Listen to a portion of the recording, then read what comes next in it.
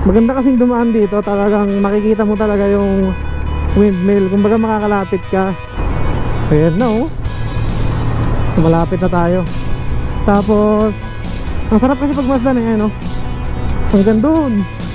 Ayun, naka-sniper 150 na tayo. Tapos, yung gulong natin ang kapal-kapal.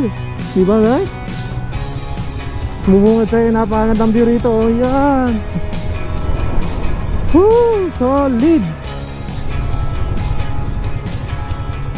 Ayun oh. Ganda oh. Parang ang liit niya lang sa ano eh. Sa malayo pero lalaki pala ano. Ganda. Oh. Mas maganda dito guys. Dito ako magpipicture oh. Ayun oh, pag ganyan. What's up mga kadokso? So ito yung ah, galing ako ng Treasure Mountain at pupunta ako ngayon ng windmill. May maganda kasi shortcutan doon sa may windmill na yon Pililya so dati kasi puro lubak yun eh. Ngayon doon tayo dadaan para makita natin ng bahagya talaga yung ah, windmill. So mula rito sa Marilake diretso tayong Pililya dito na rin tayo dadaan mamaya pa uwi hindi tayo babalik ng Marilake. So para na rin nag Marilake loop ako. Tayo ngayon sa Sierra. Parang uulan no? Pero sakto lang yan Pababa naman na tayo eh. Buti na lang merong uh, Chargeran dun kanina sa may Treasure Mountain. Kaya nakapag charge ako ng Ng battery ng ating camera. Sana ngayon umabot. Pero tingin ko aabot naman. Naraparan ng kalsada rito. Naka-espalto na ang plano ko sana kakain ako dito eh sa may Cafe Caterina kaso late ako kumain kanina. Busog pa ako. O bagal-bagal ako kasi yung mga gulong ko may putik pa sa gilid-gilid. Baka dumuusos ako. Yan, may coffee shop din doon. Yan o, na-develop na rin yung lugar dito. Ang ganda ng tanawin dito. Ang ganda sarap din dito eh.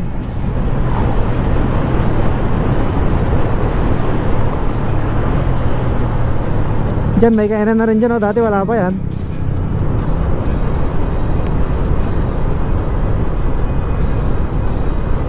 Ay! May buhangin. Delikado yun. Buti na lang may napagtanungan ako doon Hindi ko nakabisado rito. Ang tagal ko nang hindi dumadaan dito Since 2019 yata.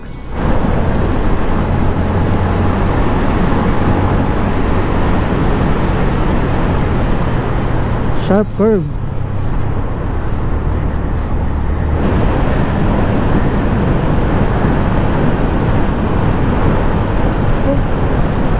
Lumilipad tong ano. Papote sarap din ang bangkingan dito lapad na kalsada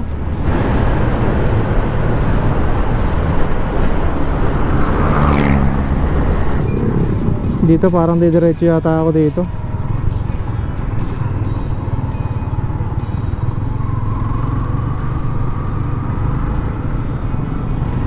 tanong muna ako rito kay Kuya kaya pwede po magtanong saan po yung ano yung shortcutan dito papuntang windmill po yung dadaan po ng windmill Ay, dito diretso.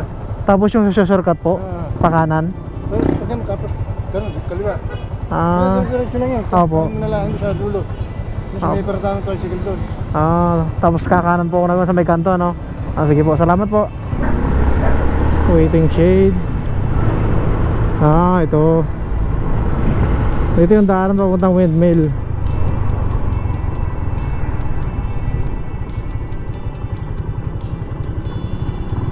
Tapos kaliwa yun.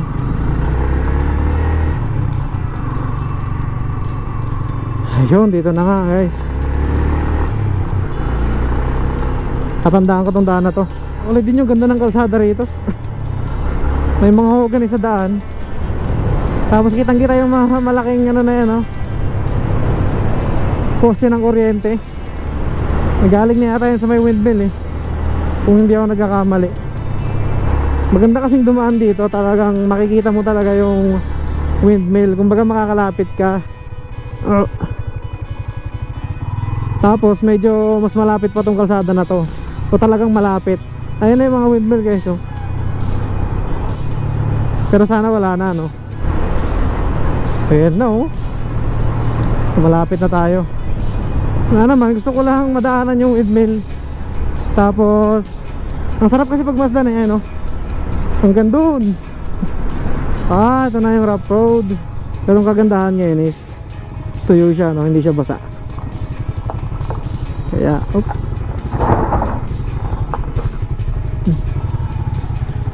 kaya medyo magandang dumaan yan dito. Alam nyo ba dati nung punta namin dito naka city 100 pa ako tapos may angkas. Tapos yung gulong ko nun pud na. Eh yun naka sniper 150 na tayo tapos yung gulong natin ang kapal kapal hindi pa na flat yun ha yun, medyo mabato talaga dito. Ma- matatalas yung bato. Ayun no oops rough road na naman. Walang putik. Speaking of putik no? Ayan. Pwede yata sa gilid.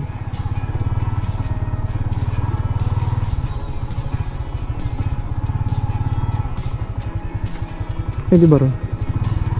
Pwede rito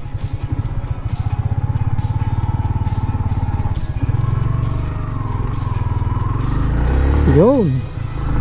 Sementado na siguro hanggang doon no? Hoping sana. Yun. Diba guys? Ganda oh. Diba?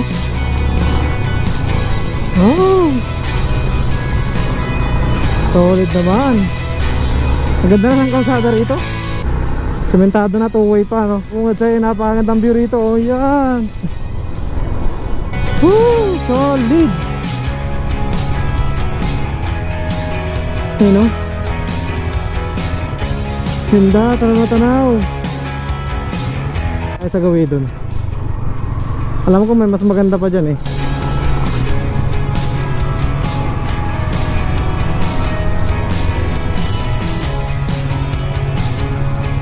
Ganda oh. Parang ang liit niya lang sa ano eh. Sa malayo pero ang lalaki pala ano. Pag nalapitan na. Solid dito, mas marami dito yun oh di ba? Mas malalaki dito pagdating ng araw matidevelop pa lalo tong lugar na to. Na enjoy ko rin naman kahit mag isa ko lang. Gusto ko mag picture dito.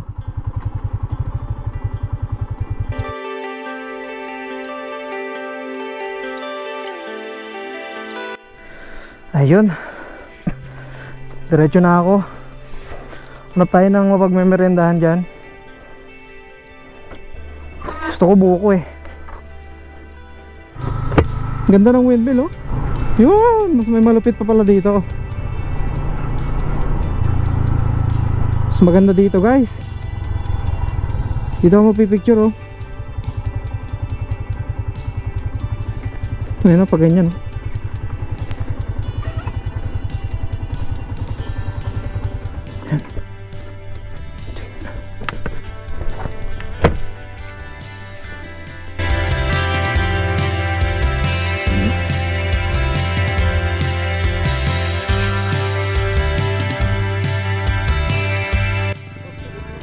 Okay lang, okay lang. Okay lang. Thank you ah.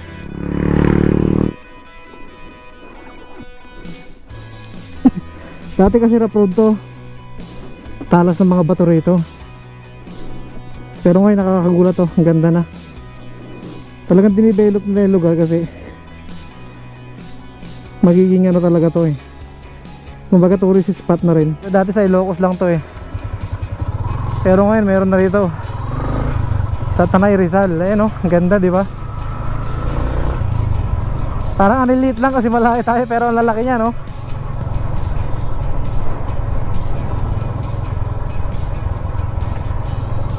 So swerte rin ng mga taong merong lupa rito kasi magtataas yung value ng lupa. Bukod sa nagawa na ng kalsada syempre yung mga windmill magiging tourist des- destination tapos ayun na ito na magsisimula yun. Yun dami rin no solid din pumunta rito. Ganda na kasi ng kalsada eh.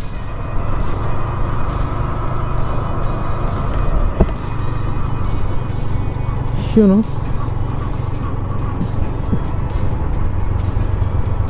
napakaganda ng kalsadang ginawa nila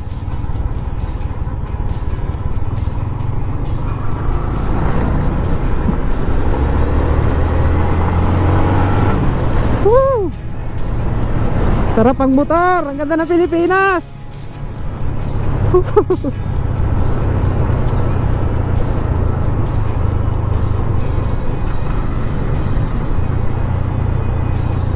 Di ba?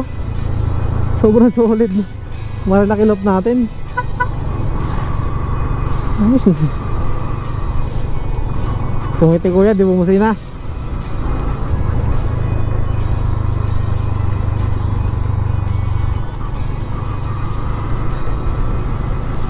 Parang dito Dito yung pinaka plantation nila. Yung power plant.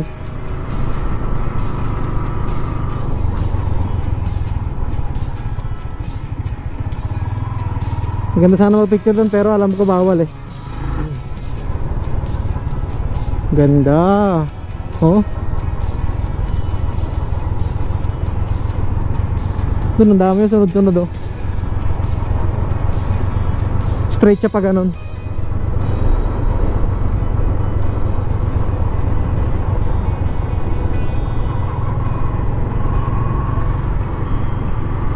Sarap talaga pag may motor. Dahil mo napupuntang lugar.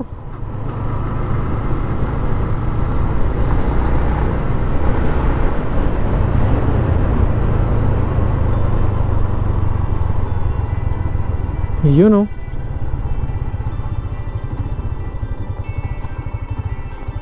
Ganda rito.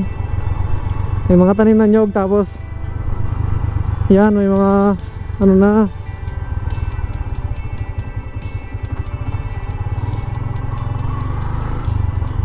May mga street light. Tapos tanaw na tanaw yung mga windmill. Parang ang sarap magbahay dito ano?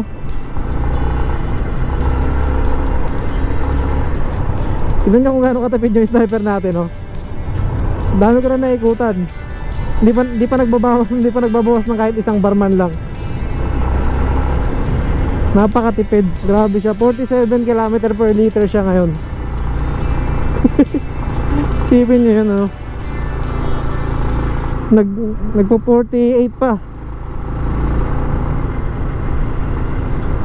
150cc 48 km per liter.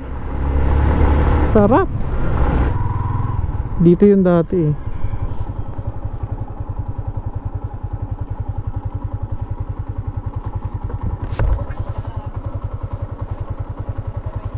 Pwede kaya doon Sir pwede ba ron sir? Pwede sir, nasa private po. Pa? Private na kasi sir. Ay hindi na po pwedeng pumunta dyan? Bawal po dun sa baba sir. Ah, Sa loob lang sa pinaka-private pwede. ah dito lang sir pwede dyan? Hindi, bawal din sir. Ah bawal din Wala na pala yung dyan sir ano? Tinanggal na Sige sir dito na lang ako. Tignan ko lang. Ang Laki pala niya ano pag sa personal. Ayan siya guys. Laki niya oh, sa personal oh. Dati nakakapunta kami dun eh. Ngayon Private property na daw. So wala na. Ay makakapunta ron. Masdan nyo na lang oh.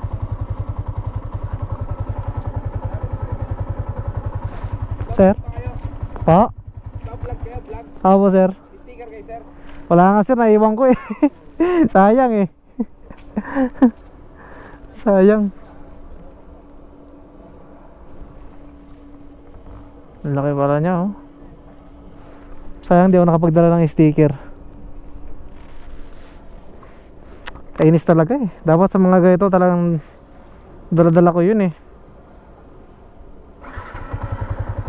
So yun lang. Dati nakakalapit kami ron ngayon hindi na Siguro nung ma-develop na Bawal na yung maraming tao dyan Kasi siguro nag-ooperate na Dami nangingi ng sticker sayang Hindi ko nadala. Yun yung isa sa naalala ko kanina eh. Sobrang pagmamadali ko, wala na, hindi ko nakakaisip. Harap lang tayo ng ano dito, ng nabibila ng buko. So, yan, dito na tayo sa kalsada, sa highway. Lawak na rin ng kalsada rito. Sipin yun, 4 lane, no? Uhaw na ako. Pero ang spot doon mamaya, eh, doon tayo sigurado, siguradong may natitinda ng buko ron eh. Wow, landslide. Dito yun eh. Tagaway dito. Yun. Tayo dito tayo. Inom tayo ng buko. Ate, magkano isang buko? Opo. Ako na tinda ng buko rito. Kain muna ako. Ayun, ate. Mauna ako eh. Ganda pa ng spot dito. Kay ate. Magkano po isang 25 po? 25. Isang peraso. Palaban si Dukso kanina. Putik ko. Putik.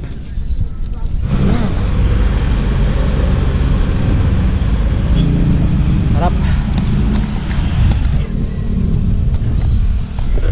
Tama. Yan o, buko. Para akong umuwi sa amin, nasa Baler.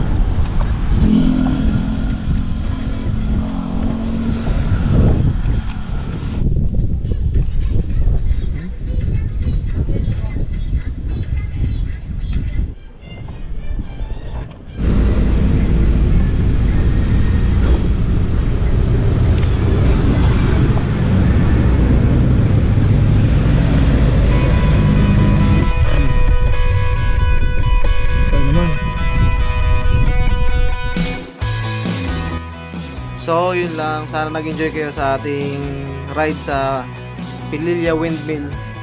So, dito ko na rin tinatapos yung aking vlog mga kadukso. Ride safe na lang tayo. Sa mga hindi pa nga pala nag-subscribe sa channel ko, subscribe na kayo for more videos like this. Then, RS palagi. And God bless. And see you in the next vlog. Bye-bye.